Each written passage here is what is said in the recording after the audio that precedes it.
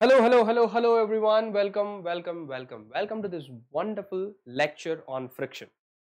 இது நம்மளோட second lecture நீங்கள் பார்த்து கொண்டிருப்பது உங்கள் அபிமான சங்கர் கிருஷ்ணா. இன்னைக்கு நான் வந்து உங்களுக்கு என்ன சொல்லி சொல்லித் தர போறேன் அப்படின்னா டைப்ஸ் ஆஃப் ஃப்ரிக்ஷன் பத்தி நம்ம வந்து நான் உங்களுக்கு சொல்லி அதை பத்தி நம்ம பார்க்க போறோம். இதுக்கு ஆல்ரெடி முன்னாடி இன்னொரு லெக்சர் இருக்கு. அது கண்டிப்பான முறையில் நீங்க பார்த்துருக்கணும் அப்படின்னு நான் எதிர்பார்ப்பேன் நான். பார்த்துருந்தீங்க அப்படின்னா இந்த செஷன் இன்னும் ரொம்ப ஈஸியா போகும்.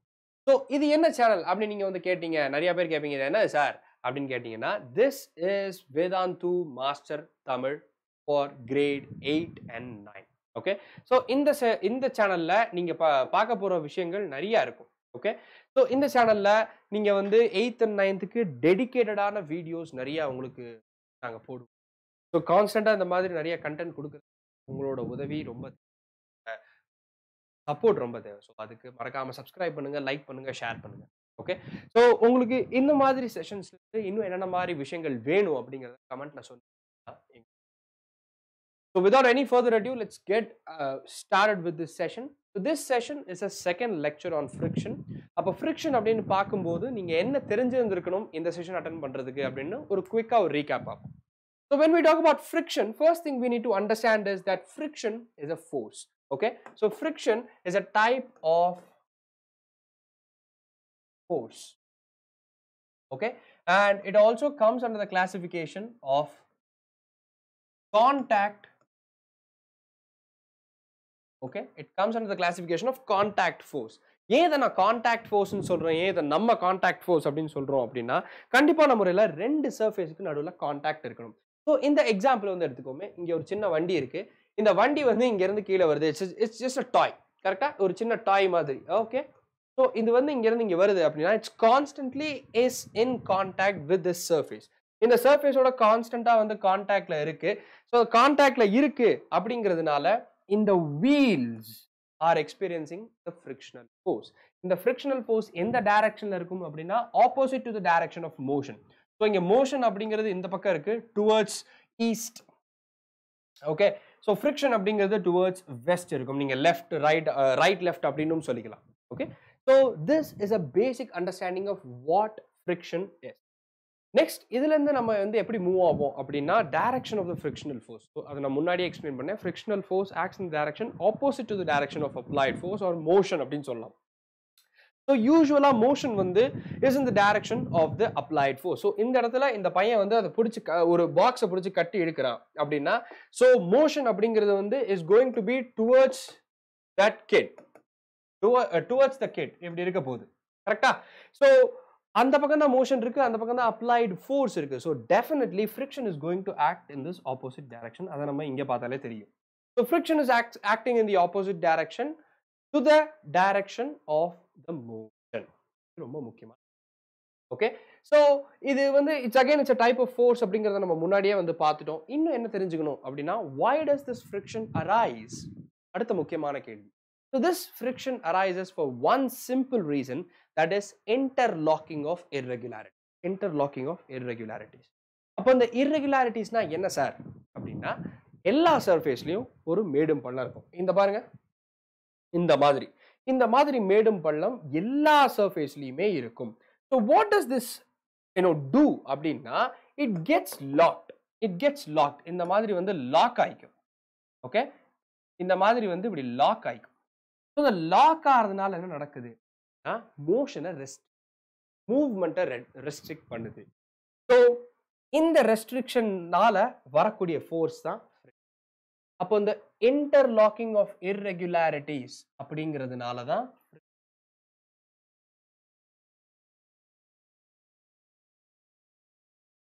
அப்போ இந்த இர்ரெகுலாரிட்டிஸ்னால friction exist friction is a type of contact force ரெண்டு சர்ஃபேஸ் கான்டாக்ட் இருக்குது ரெண்டு சர்ஃபேஸ்லையும் இர்ரெகுலாரிட்டிஸ் இருக்குது எவ்வளவு ஸ்மூத்தான சர்ஃபேஸாக இருந்தாலும் அதில் இர்ரெகுலாரிட்டிஸ் இருக்க தான் செய்யும். அந்த இர்ரெகுலாரிட்டிஸ் இன்டர்லாக் ஆகிறதுனால it gives rise to friction இது வரைக்கும் புரிஞ்சது அப்படின்னா மறக்காம கீழே லைக் பண்ணிருங்க. ஓகே மூவிங் ஆன் ஸோ இது வந்து ஒரு சின்ன microscopic model of any surface எந்த சர்ஃபேஸ் எடுத்துக்கலாலும் பார்க்கறதுக்கு ஏறக்குறைய இந்த மாதிரி இருக்கும் ஸோ இதில் இப்போ நான் வந்து பார்த்தீங்கன்னா முன்னாடி ஒரு எக்ஸாம்பிள் சொன்னேன். ஒரு சின்ன பையன் வந்து கயிறை கட்டி ஒரு பாக்ஸை எடுக்கிறான் அப்படின்னு. அப்போ இந்த பாக்ஸ் எடுக்கிற மாதிரியே வச்சுக்குவோமே. ஸோ இந்த பாக்ஸ் வந்து போகுது. இது ஒரு ரஃப் சர்ஃபேஸ் இந்த சர்ஃபேஸ்ல நமக்கு என்ன தெரிய வருது? அப்ஸ் அண்ட் டவுன்ஸ் நிறைய இருக்கு அப்படின்னு. ஸோ இந்த box as it moves along the path பாருங்களேன் மாலிகூல்ஸ் எவ்வளோ டிஸ்டர்ப் பண்ணுதுன்னு பாருங்க. உடையுது. கரெக்டா so it is disturbing the molecules it is changing the texture of the surface which slows down the box பாருங்க இங்க இங்க மூவாயிரம் ஸ்பீடுக்கும் அது இடிச்சதுக்கு அப்புறம் அது மூவாயிரம் ஸ்பீடுக்கும் வித்தியாசம் இருக்கு. இதுக்கு காரணம் இந்த இன்ட்ராக்ஷன் தான். இந்த இன்ட்ராக்ஷன்னால ஒரு ஃப்ரிக்ஷன் இருக்கு. இந்த ஃப்ரிக்ஷன்னால இந்த பாக்ஸ்ல ஒரு எஃபெக்ட் இருக்கு. இதை நம்ம மேக்ரோஸ்கோபிக் ஸ்கேல்ல கண்ணுக்கு தெரியுற மாதிரி பார்க்கணும்னா ஏதாவது ஒரு ஹெவியான பொருளை தரையில வச்சு இழுக்கும் போது அந்த தரையில மார்க் இருக்கும். ஒரு டேபிளை தரையில வச்சு தள்ளும் போது பயங்கரமா சத்தம் வரும். அதுக்கப்புறம் மார்க் இருக்கும். அதுக்கு காரணம் இதுதான். மைக்ரோஸ்கோபிக் லெவல்ல இதுதான் நடக்குது. ஸோ அந்த மாலிக்யூல்ஸ் எல்லாம் இந்த மாதிரி டேமேஜ் ஆகுது. மைன்யூல் டேமேஜஸ் வந்து ஏற்படுது. அதுக்கு காரணம் என்ன அப்படின்னா அந்த அப்ஸ் அண்ட் டவுன்ஸ் இருக்குது ஸோ எவ்வளோதான் ஸ்மூத் சர்ஃபேஸாக இருந்தாலும் அதில் அப்ஸ் அண்ட் டவுன்ஸ் இருக்கதா செய்யும். அதை தான் நம்ம இர்ரெகுலாரிட்டிஸ் அப்படின்னு சொல்கிறோம் ஓகே ஸோ எதெல்லாம் இந்த இந்த ஃப்ரிக்ஷன் அஃபெக்ட் பண்ணுது அப்படின்னு வந்து பார்த்தீங்கன்னா ரெண்டு முக்கியமான விஷயம் இருக்குது இதெல்லாமே நம்ம ப்ரீவியஸ் லெக்சர்ஸில் டீட்டெயில்டாக பார்த்துருப்போம் so just giving a summary of those things so first என்ன அப்படின்னா nature of the surface surface எவ்வளோ ஸ்மூத்தாக இருக்குன்றதை வச்சு ஃப்ரிக்ஷனல் ஃபோர்ஸ் மாறும். சிம்பிள் கெஸ் தான். யோசிச்சு பாருங்க. இங்கே வேகமாக போகுமா? இங்கே வேகமாக போகுமா? இங்கே வேகமாக போகுமா? இந்த கேள்விக்கு உங்களுக்கு மனசில் பதில் வந்துருச்சு அப்படின்னாலே இந்த செஷன் பாதி முடிஞ்சு போச்சு அப்படின்னு அர்த்தம். எஸ் வெரி குட் ஸோ இங்கே தான் வேகமாக இருக்கும். So if the smoothness, smoothness of a surface increases, friction decreases. Friction kammiya irukkum. Smoothness of the surface na enna artham less number of irregularities. Less irregularities. Less number of irregularities. So ஒரு surface ஸ்மூத்தா இருக்குன்னா கம்மியான irregularities இருக்குன்னு அர்த்தம். So கம்மியான irregularities இருக்கு அப்படின்னா கண்டிப்பான முறையில் ஃப்ரிக்ஷன் கம்மியாக தான் இருக்கும். அது இன்டர்லாக் ஆகாது இல்லை so there will not be any interlocking of these irregularities because surface ஸ்மூத்தாக இருக்கிறதுனால. என்னதான் ஸ்மூத்தாக இருந்தாலும் அதில் irregularities இருக்கும் நான் முன்னாடியே சொன்னேன் நான். ஆமாம் ஸோ அது கம்மி பண்ண கம்மி பண்ண இந்த ஃப்ரிக்ஷனல் ஃபோர்ஸும் கம்மியாகிக்கிட்டே வரும். ஜீரோ ஆகாது. ஸோ இந்த இடத்துல ஃப்ரிக்ஷன் ரொம்ப கம்மியாக இருக்கும். ஃப்ரிக்ஷன் இஸ் மினிமம் அதே இந்த சர்ஃபேஸ் பார்த்தீங்கன்னா எவ்வளவு ரஃப்பாக இருக்கு. ஸோ இங்கே friction is going to be maximum இந்த நடுவில் மீடியமாக இருக்கும்னு வச்சுக்கோமா? பிகாஸ் இது வந்து ரொம்ப ஹார்டாகவும் இல்லை ரொம்ப ஸ்மூத்தாகவும் இல்லை. ஸோ ஒரு ஆவரேஜான சர்ஃபேஸ் ஸோ இங்கே friction going to be so based on the surface nature of the சர்ஃபேஸை பொறுத்து ஃப்ரிக்ஷன் மாறும். நெக்ஸ்ட் என்ன முக்கியமான ஃபேக்டர் என்ன அப்படின்னா வெயிட் ஆஃப் த பாடி கனமான பொருள் இருந்துச்சுன்னா ஃப்ரிக்ஷன் அதில் அதிகமாக இருக்கும் ஏன் கனமான பொருள் அப்படின்னா அது சர்ஃபேஸ்ல நல்லா உட்காந்துக்கும் அப்போ ரெண்டுத்துக்கும் இருக்கிற இர்ரெகுலாரிட்டிஸ் நல்லா மாட்டிக்கும் result of that the frictional force will increase more massive and object is more heavy and object is more heavy and object is the greater will be the interlocking of these molecules of the the அது இருக்குது அப்படின்னா கண்டிப்பான முறையில் move பண்ணுறது கஷ்டமாக இருக்கும் இப்போ coming to today's topic இன்னைக்கு வந்து நம்ம என்ன பார்க்க போறோம் அப்படின்னா இதெல்லாம் இருந்தாலும் ஃப்ரிக்ஷன் இஸ் நெசசரி ஈவில் அப்படின்னு ஒரு பாயிண்ட் சொல்றேன். What is necessary evil means கண்டிப்பா தேவை. இது இல்லாம இருக்க முடியாது. ஏன்? எதனால வந்து இது தேவை? இப்போ ஒரு தரையில வந்து நான் வந்து ஒரு டேபிளை எடுக்கிறேன் அப்படின்னா அந்த தரைக்கு டேமேஜ் ஆகுது. அப்ப எனக்கு ஃப்ரிக்ஷன் அந்த இடத்துல வேண்டாமே. எனக்கு வந்து ஃப்ரிக்ஷன் இல்லைன்னா பரவாயில்ல அப்படின்னு தோணுது. ஆனா ஃப்ரிக்ஷன் இல்லை அப்படின்னா பல விஷயங்கள் செய்ய முடியாது. உதாரணத்துக்கு இந்த மாதிரி விளையாடவே முடியாது. Any form of sport any form of sport இதுக்கு காரணம் என்ன? காலில் இருக்கிற கிரிப் அந்த ஷூஸ் எல்லாம் பாருங்களேன். அந்த ஷூஸ் எல்லாமே ரொம்ப வித்தியாசமாக இருக்கும். அதிகமாக வந்து கிரிப்பு கொடுக்கறதுக்காகவே டிசைன் பண்ண ஷூ ஷூஸ் இருக்கும். அதே மாதிரி நம்ம எங்கே விளையாடுறோம் அப்படின்றத பொறுத்து. ஸோ நல்ல கிரிப் இருக்கணும் அப்படிங்கிறது ரொம்ப தேவை. கிரிப் இல்லைன்னா நடக்க முடியாது. கிரிப் இல்லைன்னா இந்த மாதிரி ஸ்டண்ட் எல்லாம் பண்ண முடியாது. இந்த மாதிரி கேம்ஸ் எல்லாம் விளையாட முடியாது. கிரிப் இல்லை அப்படின்னா இப்படி வழுக்கி விழுந்துரும். ஸோ ஃப்ரிக்ஷன் அப்படிங்கிறது is very very important so இது ஸ்மூத்தான சர்ஃபேஸ் தான். இது ஸ்மூத்தான சர்ஃபேஸ் தான். ஸோ இந்த இடத்துல ஃப்ரிக்ஷன் இல்லை. ஸோ ஃப்ரிக்ஷன் இல்லைன்றப்போ நடக்கிறது கூட ரொம்ப கஷ்டமா இருக்கு. பாருங்க உதவி பண்ணுன்னு போறவங்க கீழே விழுந்துட்டாங்க. ஸோ அந்த அளவுக்கு ரொம்ப முக்கியமான ஒரு விஷயம் ஃப்ரிக்ஷன் ஃப்ரிக்ஷன் இல்லை அப்படின்னா இந்த மாதிரி எழுத முடியாது. இப்போ நான் எழுதுறேன் இந்த போர்டில் இது டிஜிட்டல் போர்டு தான். ஆனால் டிஜிட்டல் போர்டாகவே இருந்தாலும் ஃப்ரிக்ஷன் இருந்தால் தான் எழுதும். இல்லை அப்படின்னா இந்த பென் வந்து வழுக்கிட்டு போயிடும் so friction is helping in a lot of things Friction is a necessary evil. கண்டிப்பான முறையில் ஃப்ரிக்ஷன் தேவை. ஃப்ரிக்ஷன் இல்லை அப்படின்னா இந்த மாதிரி எதுவுமே பண்ண முடியாது. இவர் யாரு அப்படின்னு கேட்டிங்கன்னா this is Walter Lewin Walter Lewin is one of the greatest physics teachers of all time என்னை பொறுத்தவரை என்னை பொறுத்தவரைக்கும் he is the greatest physics teacher of all time he was a professor at MIT so அவர் வந்து he is famous for this dotted lines so black போர்டில் வந்து dotted lines வந்து போடுவார். இதுக்கெல்லாம் யார் காரணம்? அவரோட திறமை மட்டும் கிடையாது. ஃப்ரிக்ஷனும் தான். ஃப்ரிக்ஷன் இல்லை அப்படின்னா அவரால் அந்த டாட்டட் லைன்ஸ் எல்லாம் போட முடியாது. ஓகே ஸோ ஃப்ரிக்ஷன் இல்லைன்னா உங்களால் உங்கள் டெஸ்ட் எழுத முடியாது. நீங்கள் தினம் ஜா வந்து எவ்வளவோ விஷயங்கள் வந்து நோட்ஸ் எடுக்கிறீங்க. எவ்வளவோ விஷயங்கள் வந்து உங்களோட பெண்ணை யூஸ் பண்ணுறீங்க இப்போ கூட உங்களில் பல பேர் நான் சொல்கிறத எழுதலாம். அதெல்லாம் பாசிபிள் பிகாஸ் ஆஃப் ஃப்ரிக்ஷன் நீங்கள் உட்காந்துருக்கலாம் அந்த சேரில் உட்காந்துருக்கிறதுக்கு காரணம் ஃப்ரிக்ஷன் நான் என்ன இப்போ நின்றுக்கிட்டு இந்த இடத்துல நடந்துட்டு பேசுகிறேன் இதுக்கு காரணம் ஃப்ரிக்ஷன் என் கையில் அந்த பென் இருக்குது it is because of friction so friction us in in a lot of things it's it's a very very necessary thing friction இல்லை அப்படின்னா மேட்ச் பாக்ஸ் கொளுத்த முடியாது. ஸோ ஃப்ரிக்ஷன் உராயும் போது இப்படி உரசல் இருக்கும்போது என்ன நடக்குது அப்படின்னா அந்த இடத்துல ஹீட் ப்ரொடியூஸ் ஆகுது. ஸோ அந்த ஹீட்டோட ஒரு சின்ன அப்ளிகேஷன் தான் இந்த மேட்ச் பாக்ஸ் ஸோ அந்த மருந்தில் லைட்டாக ஒரு ஹீட் வந்தோடனே அது மொத்தமாக பார்த்திக்கிற மாதிரி அவங்க செட் பண்ணியிருக்காங்க. ஆனால் அங்கே ஹீட் வரணும். வர்றதுக்கு ஃப்ரிக்ஷன் உதவுது. ஸோ இப்படி நம்ம வந்து குளிரும் போது குளிர் காயறதுக்கு இந்த மாதிரி கையை வந்து தேய்ச்சிங்க அப்படின்னா உங்களுக்கு ஃபீல் ஆகும். கை ஹீட் ஆகுறது ஃபீல் ஆகும். எதனால? ஃப்ரிக்ஷனால friction produces heat it's a very important component இதை ஏன் ஈவில்னு சொல்றோம்? நெசசரி ஈவில் இது தேவை.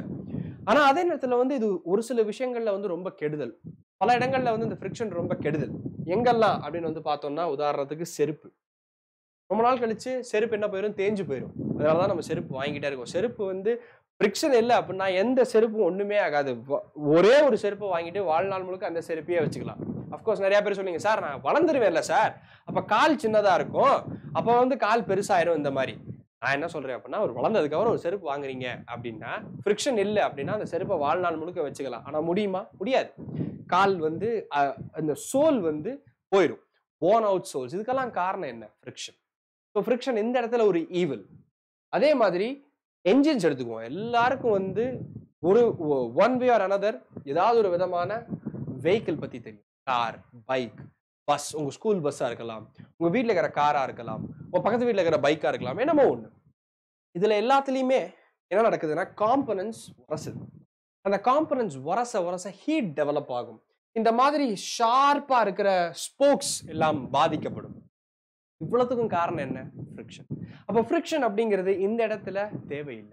ஈவில் அப்படின்ற ஒரு போஸ் இருக்குது அதே நேரத்தில் ஃப்ரிக்ஷன் வேண்டவே வேண்டாம்னு சொல்ல முடியாது. ஃப்ரிக்ஷன் இல்லவே இல்லைன்னா பல விஷயம் சில விஷயங்கள் ரொம்ப சந்தோஷமா இருக்கும். ஆனால் பல விஷயங்கள் கெட்டு போயிடும். இன்னைக்கு நம்மளால ஒரு இடத்துல நின்றுக்கிட்டு இருக்க முடியுதுன்னா அதுக்கே ஃப்ரிக்ஷன் தான் காரணம். அது இல்லை அப்படின்னா வலிக்கிக்கிட்டே இருப்போம். எங்கேயுமே நிற்க முடியாது. So friction is an evil in these charts உதாரணத்துக்கு டயர்ஸ் டயர்ஸ் எல்லாம் ஓன் அவுட் ஆயிருது. இத்தனை ஆயிரம் கிலோமீட்டர் ஓட்டினதுக்கு அப்புறம் டயர் மாற்றணும் அப்படின்னு சொல்லுவாங்க. ஏன்னா பார்த்தா டயர் முழுக்குன்னு இருக்கும். டயர்ல வந்து கிரிப்பே இருக்காது. அப்புறம் எங்கேயாவது போய் பிரேக் அடிச்சா கீழே தான் விழுக்கணும் ஸோ இதுக்கெல்லாம் ஏன் ஏன் அப்படி ஆகுது? ஃப்ரிக்ஷன் ஓடி ஓடி தரையோட ஒராசி ஒராசி ஒராசி இந்த மாதிரி ஒரு நிலைமையில வந்து நிற்கும் ஸோ இதுக்கெல்லாம் காரணம் என்ன? ஃப்ரிக்ஷன் தான். அப்போ friction is a necessary evil அப்படின்னு சொல்றோம். அப்போ இந்த ஃப்ரிக்ஷனை பொறுத்த வரைக்கும் மூணு டைப் இருக்கு. எந்த மாதிரி சர்ஃபேஸோட இன்ட்ராக்ட் ஆகுதுன்றதை வச்சு மூணு டைப் இருக்கு. அதில் ஃபர்ஸ்ட் டைப்புக்கு பேர் ஸ்டாட்டிக் ஃப்ரிக்ஷன் செகண்ட் டைப்புக்கு பேர் ஸ்லைடிங் ஃப்ரிக்ஷன் தேர்ட் டைப்புக்கு பேர் ரோலிங் ஃப்ரிக்ஷன் இந்த மூணும் மூணு காமனான டைப்ஸ் ஆஃப் ஃப்ரிக்ஷன் இதுக்கப்புறம் இன்னொன்று இருக்குது அதை நம்ம லேட்டரான இந்த செஷனில் பார்க்க போகிறோம் பட் இந்த மூணு விஷயங்களை நம்ம ரொம்ப ஃபோக்கஸ் பண்ணி பார்க்க போகிறோம் இது வரைக்கும் உங்களுக்கு தெளிவாக புரிஞ்சிருச்சுன்னா மறக்காமல் லைக் பண்ணிடுங்க. ஒரு சப்ஸ்கிரைபை போடுங்க. மறக்காமல் இந்த வீடியோவை ஃப்ரெண்ட்ஸுக்கு ஷேர் பண்ணுங்கள் அவங்களும் படித்து தெரிஞ்சுக்கலாம். Okay alright moving on so static ஃப்ரிக்ஷன்னா என்ன அப்படின்னு பார்ப்போமே. Static friction is defined as the frictional force that acts between the surfaces when they are at rest with respect to each other. என்னடா இவர் போர்டில் இருக்கிறத பார்த்து வாசிக்கிறாரு? எனக்கு எப்படிடா புரியும் அப்படின்னு நீங்கள் யோசிக்கலாம் கவலைப்பட வேணாம். அருமையாக எக்ஸ்பிளைன் ரொம்ப சிம்பிள் ஸோ இந்த ஃபோர்ஸ் அப்படிங்கிறது வந்து ரெஸ்டில் இருக்கக்கூடிய ரெண்டு ஆப்ஜெக்ட்டுக்கு மத்தியில் ஆக்ட் ஆகிறது ஸோ இங்க பாருங்க that acts between the surfaces when they are at rest when they are at rest with to each other so கீழே இருக்கிற இந்த எக்ஸாம்பிள் எடுத்துக்கோங்க. ஒரு ஒரு பாக்ஸ் இருக்கு. கீழே சர்ஃபேஸ் இருக்கு. அந்த சர்ஃபேஸ்ல இருக்கிற இர்ரெகுலாரிட்டிஸும் ரொம்ப அழகா எடுத்து காமிச்சிருக்காங்க இந்த போட்டோல ஸோ இர்ரெகுலாரிட்டிஸ் இன்டர் லாக் ஆயிருக்கு. ஸோ அந்த நபர் எவ்வளவுதான் ஃபோர்ஸ் கொடுத்தாலும் அதுக்கு ஆப்போசிட்டா ஒரு ஃபோர்ஸ் ஆக்ட் ஆகுதா? எஃப்எஃப்னு இதுதான் உங்களோட ஃப்ரிக்ஷன் எஃப்ஏ அப்படிங்கிறது உங்களோட அப்ளைடு ஃபோர்ஸ் ஸோ இந்த டைரக்ஷனில் அவர் ஃபோர்ஸ் அப்ளை பண்ணுறாரு அதுக்கு ஈக்குவலாக ஆப்போசிட் டைரக்ஷனில் ஃப்ரிக்ஷனல் ஃபோர்ஸ் ஆக்ட் ஆகுது. இன்னொரு விஷயம் நீங்கள் கவனிச்சிங்கன்னா இந்த இது அதிகமாக அதிகமாக ஃப்ரிக் அப்ளைடு ஃபோர்ஸ் அதிகமாக ஆக ஃப்ரிக்ஷனல் ஃபோர்ஸும் அதிகமாகும். கவனிக்கிறீங்களா இல்லையா? அது நல்லா இந்த இடத்துல டெமான்ஸ்ட்ரேட் பண்ணப்பட்டிருக்கு. ஃப்ரிக்ஷனல் அப்ளைடு ஃபோர்ஸ் அதிகமாக ஆக ஃப்ரிக்ஷனல் ஃபோர்ஸ் அதிகமாகும். சி இது ஃபோர்ஸ் ஃப்ரிக்ஷன் அப்படின்னு எழுதிருக்காங்க ஃபோர்ஸ் அப்ளைடா தான் எஃப்ஏ எஃப்எஃப் ரொம்பலாம் கன்ஃபியூஸ் பண்ணிக்க வேணாம். என்னடா அது என்னமோ போட்டிருக்காங்க. எப்படி படிக்கிறது? கவலையே வேண்டாம். எஃப்ஏனா அப்ளைடு அவ்வளோதான் ஃபோர்ஸ் அப்ளைடு ஃபோர்ஸ் ஃப்ரிக்ஷன் அவ்வளோதான் ஸோ அந்த அப்ளைடு ஃபோர்ஸ்க்கு ஆப்போசிட் டைரக்ஷனில் ஃப்ரிக்ஷனல் ஃபோர்ஸ் இருக்குது இதனால தான் frictional force acts in the direction opposite opposite to the direction of motion அப்படிங்கிறத நான் சொல்ல வேண்டாம் அப்படின்னு நான் ஸ்ட்ரெஸ் பண்ணுவேன். எல்லா இடத்துலையுமே ஸ்ட்ரெஸ் பண்ணுவேன். ஏன்னா இங்கே மோஷன் இல்லையே. இங்கே ரெஸ்ட்டில் தானே இருக்குது but still friction is acting எந்த டைரக்ஷனாக இருக்கு? Opposite to the direction of applied force so இதனால it would be better to state that frictional force is a force which acts in the direction opposite to the direction of applied force okay very good so இந்த இடத்துல movement இல்லை. ஆனால் இப்படியே இருக்குமா? இப்படி இருந்துச்சுன்னா எந்த பொருளையும் நகட்டவே முடியாது. எஸ் ஸோ இப்படியே இருக்காது. இவென்ச்சுவலாக என்ன ஆகும் அப்படின்னா அந்த ஃபோர்ஸ் ஜாஸ்தியாகி நகர ஆரம்பிக்கும்.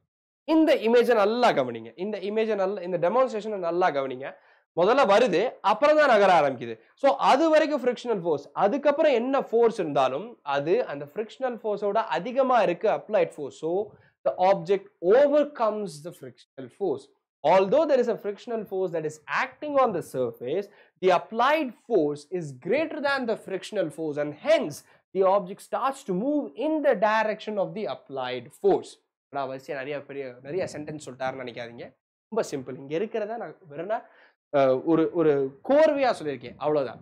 அப்ளைடு ஃபோர்ஸ் இருக்கு ஃப்ரிக்ஷனல் ஃபோர்ஸ் இருக்கு. அப்ளைடு ஃபோர்ஸோட மேக்னிடியூட் ஒரு லெவல்ல அதிகமாகும் போது frictional force can not tolerate it cannot counteract it.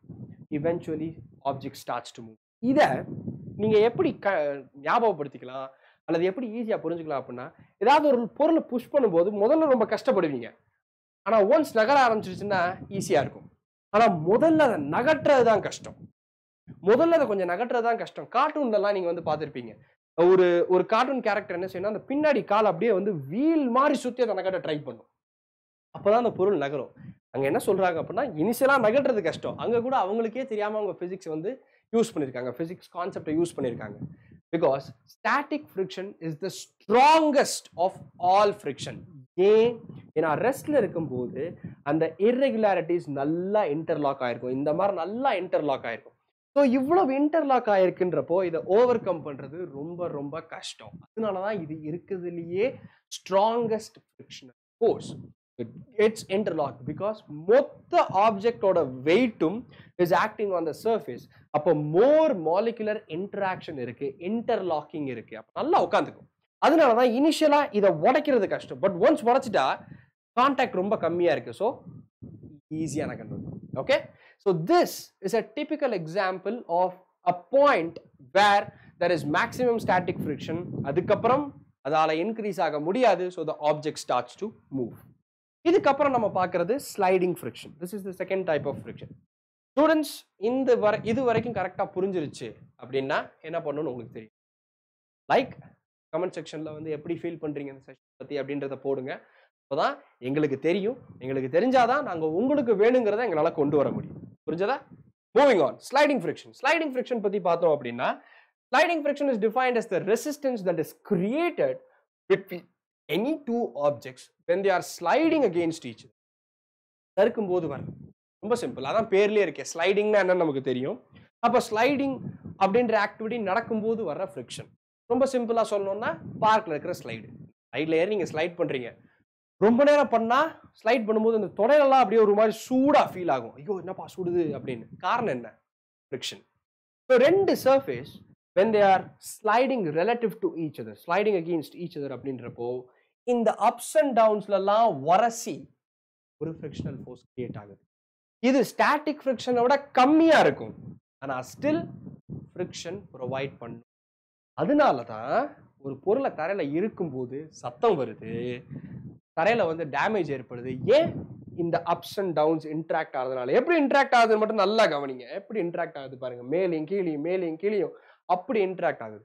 So this will damage and sliding friction is a friction happens and two surfaces are sliding against each other. Simple. என்ன? Rolling friction இதுதான் இருக்கிறதுலே least or weakest friction least effective friction ரொம்ப வீக்கான friction ஏன்? ஏன்னா இந்த நேரம் இங்கே வந்து ரொம்ப நேரம் கான்டாக்டில் இருக்கவே மாட்டேங்குது. சட சட சட நகண்டு போயிருது. டக்கு டக்கு டக்கு நகண்டு போயிருது. அதனால இங்க ரொம்ப டைமிங் ரொம்ப கம்மியா இருக்கு அப்படின்றதுனால அது அந்த இன்டர்லாக்கிங் ஆஃப் இர்ரெகுலாரிட்டிஸுங்கிறது நடக்க மாட்டேங்குது. அதுக்கு போதுமான சமயம் இல்லை. இதை நல்லா நான் ஒரு ஓரத்தில் வச்சுட்டேன் அப்படின்னா அது நல்லா போய் மாட்டிக்கும். நான் இதுக்கு டைமே கொடுக்கலன்னா அதுதான் இங்கே நடக்குது. ஸோ டைமே இல்லாத நேரத்தில் இது அப்படியே சட சட சடன் மூவ் ஆகி அது ஒரு பக்கம் அப்படியே this type of friction is rolling okay rolling friction is defined as the force which resists the motion of a ball or wheel and is the weakest type of force. So rolling frictionல எப்பயுமே நம்ம ரொம்ப consider பண்ண வேண்டிய விஷயம் என்னன்னா round objects அது வீலா இருக்கணும்னு அவசியம் இல்லை. ரவுண்ட் ஆப்ஜெக்ட்ஸ் பாலா இருக்கலாம். Okay understood all right let's move on இன்னொரு டைப் ஆஃப் ஃப்ரிக்ஷன் இருக்குன்னு நான் சொன்னேன். அது என்ன அப்படின்னா fluid friction so fluids do experience friction ஃப்ளூயிட்ஸ்னா என்ன?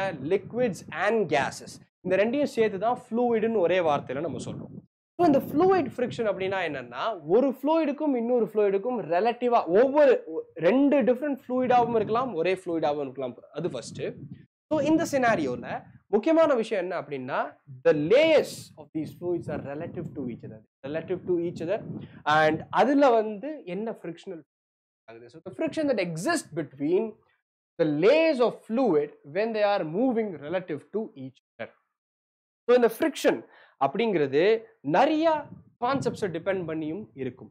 உதாரணத்துக்கு வந்து பார்த்தீங்கன்னா ரொம்ப டென்ஸான லிக்விட் அதிகமான ஃப்ரிக்ஷன் ப்ரொவைட் பண்ணும். ரொம்ப வந்து அதாவது லெஸ் டென்ஸ் லிக்விட்ஸ் அந்த அளவுக்கு ஃப்ரிக்ஷன் வந்து ப்ரொவைட் பண்ணாது. So this is about fluid friction so நம்ம நாலு டைப் ஆஃப் ஃப்ரிக்ஷன் இன்னைக்கு மட்டும் பார்த்துருக்கோம். மூணு ரொம்ப காமனான விஷயம் ஒன்று வந்து ஃப்ளூயிட் ஃப்ரிக்ஷன் ஸோ ஃப்ரிக்ஷன் கிளாசிஃபிகேஷன்றப்ப அந்த மூணு விஷயத்த சொல்லுவோம். அண்ட் இது வந்து இந்த மாதிரி சொல்லுவோம். ஓகே ஆல் ரைட் ஸோ இந்த ஃப்ளூயிட் ஃப்ரிக்ஷன்றது வந்து இன்டர்னலாக லேயர் பை லேயர் இருக்கு. ஒரு ஃப்ளூயிடுக்குள்ளன்னா இன்டர்னலாக லேயருக்கும் லேயருக்கும் இருக்கிற இன்ட்ராக்ஷன் ஸோ இந்த மாதிரி ஒரு சினாரி எடுத்துக்கோமே. தரையில் தண்ணி கொட்டி இருக்கு கால் வச்சா வலிக்கு விழுந்துருவோம். ஏன்? அந்த ஃப்ளூயிட் என் காலோட எப்படி ரியாக்ட் ஆகுது?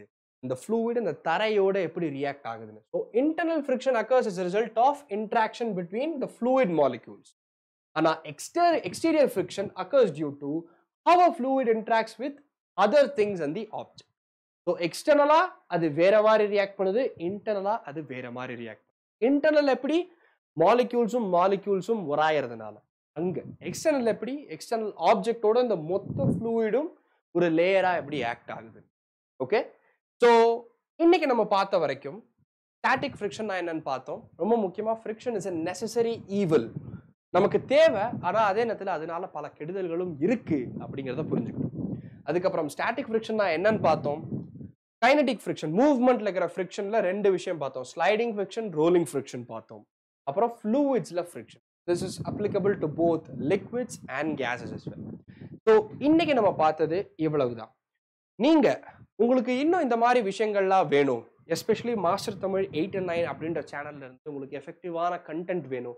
இந்த மாதிரி நிறைய வீடியோஸ் வேணும் அப்படின்னு நீங்க நினைக்கிறீங்கன்னா மறக்காம கமெண்ட் செக்ஷன்ல பண்ணுங்க.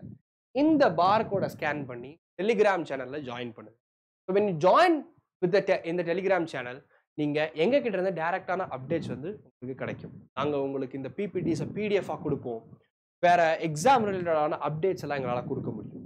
ஸோ இதுக்கெல்லாம் நீங்கள் சப்போர்ட் பண்ணுறதுலேருந்து நாங்கள் உங்களுக்கு குவாலிட்டியான கண்டென்ட்டை கொண்டு வர முடியும். Okay so that's all for today தலைவர் ஸ்டைலில் சொல்லணும் அப்படின்னா கரெக்டாக படிங்கடா. Okay every